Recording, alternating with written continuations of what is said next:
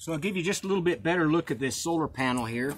And uh, this is the one made by Bluetti. This is a 120 uh, watt solar panel. Uh, it is foldable. It's fairly light. I, I like it. It's really convenient. Uh, you know, you can stick this in your trunk in your car and take it along with the Bluetti real easily. Uh, it does have the pouch in the back. It does have these pads on the back that you can see here. These feet, these fold down. I've got it upside down, but these fold down and they're props so that you can angle this uh, however you want it. So you can angle it up like this. My sun is directly overhead, so I'm going to lay it out flat.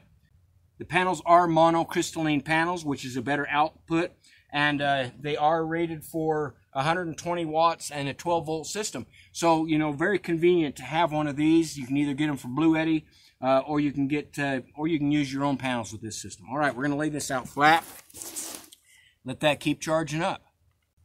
Okay, guys, so I've got the uh, EB55 plugged into the AC outlet uh, in my house, and it says that it is charging at 200 watts. That's how much the uh, transformer is rated for, and it's pulling in 200 watts, and it says that it will charge in just about three hours using AC. Now, you can also charge it by getting a solar panel, and uh, Eddy also carries their own line of solar panels, or you can use your own solar panel and uh, Bluetti includes the cable, so if you're using your own solar panel, it has the XT60 plug that these use uh, if you're using that. But if you get one of their panels, this is a 120 watt panel. I think they have like a 200 watt panel as well.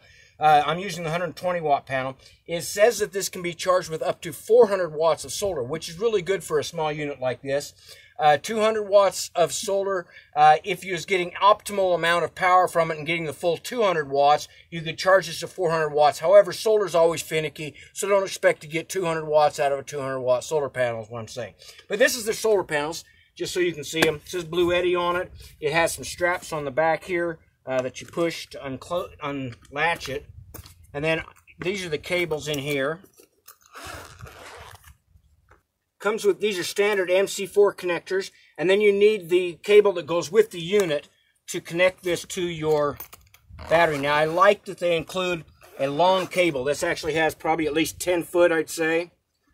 I'd say this probably about 10 feet of cable. That's good uh, with these solar panels. A lot of times they only include just a short cable. And if you want to run this like through a window and into your house, you could recharge it by setting the solar panel outside. You don't have to set this outside to charge it. So it's nice to have that good long cable there. And then you just fold these out, which is what I'm going to do here.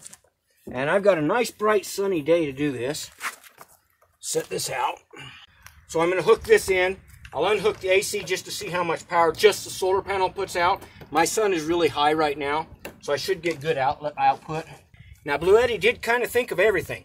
They also include the uh, cigarette plug style plug with the XT60 on it. So if you want, you can plug this directly into a cigarette style socket in your car or truck, and you can charge it up from that. That's going to be slower, but it will charge up from that.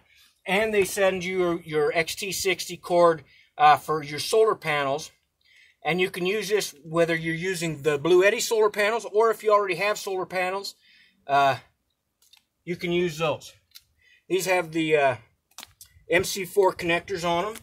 And you, you really can't mess this up, guys. It's, it's just as simple as connecting them to the correct connect to the correct connector. That one goes on there, like so.